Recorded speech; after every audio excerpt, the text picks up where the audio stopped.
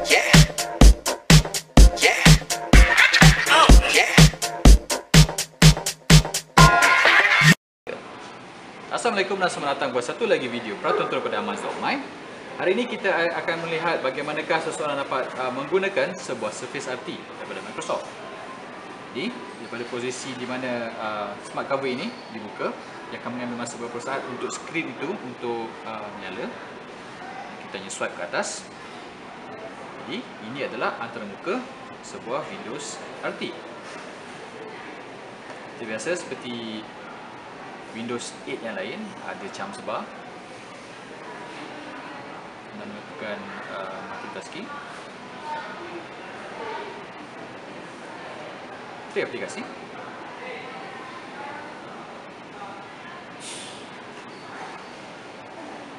Okey. Kami akan melihatkan macam mana uh, keyboardnya berfungsi ya. Seperti sebuah uh, laptop dia mampu dia mempunyai fungsi alternate tab di mana anda boleh uh, melihat aplikasi bertukar-tukar aplikasi yang mana anda gunakan. Kami akan pergi ke Windows Explorer.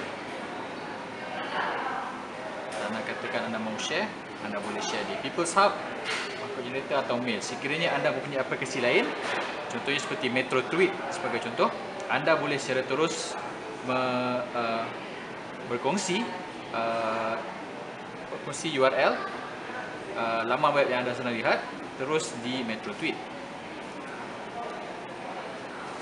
Fungsi lain Windows seperti Windows D juga boleh berfungsi. Lihat Windows D akan terus ke desktop. Tab. Kita tekan tadi. Dan apa yang saya rasa menarik ialah uh, charger untuk Windows RT ini. Windows Surface RT ini. Okey, jika Aman boleh zoom ke bahagian kanan di mana terdapat uh, port untuk mengecas. Jika lihat orientasi sekarang, wayar di bahagian atas dan sebenarnya charger ini boleh berfungsi pada mana-mana orientasi. Pada wayar di bawah juga ia masih boleh mengecas. Satu lagi jika anda membaca uh, spesifikasi yang ada pada Surface RT ini anda diberitahu ia mempunyai kemampuan untuk membaca sebuah SD card. Jika sekali lihat nanti boleh nampak di manakah slotnya. Sebenarnya slot itu terletak pada bahagian belakang di bahagian kickstand ini pada bahagian kanan di sini ya. Yang tidak gunakan ianya tersorok jadi jika anda anda ingin membeli dan mempunyai dan anda mahu mencari di manakah terletaknya slot untuk kad SD itu ia terletak pada bahagian kickstand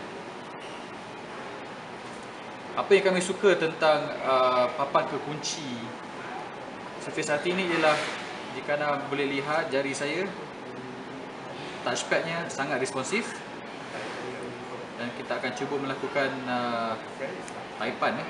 cuba menaik. Lihat sama ada ini senang digunakan. Jadi kita akan cuba pergi ke Yahoo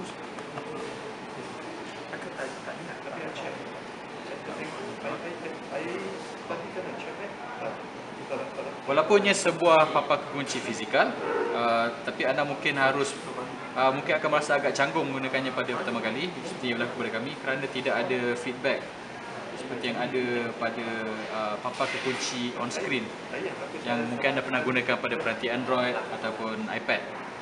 Tidak ada setakat ini yang uh, kami diberitahu pada Surface RT tidak ada uh, haptic feedback ya untuk papan kekuncinya. Jadi ini saja buat waktu ini uh, pandang pertama Surface RT daripada Microsoft. Jika anda sukakan video ini, sila bagikan thumbs up. Jika anda mahukan lagi video daripada kami, sila langgani channel kami di YouTube. Jumpa anda lagi di waktu dan hari yang lain. Saya Bofin, sekian terima kasih. Yeah.